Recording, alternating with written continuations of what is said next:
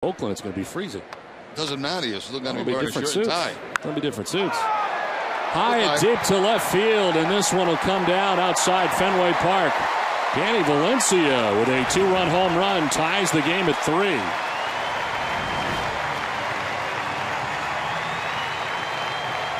Third home run of the season for Valencia. Well, we were a little surprised to see his name in the lineup uh, today as it came out from Bobby Valentine, but uh, a pleasant surprise as he waits back nicely on that very slow curveball, and he loses it.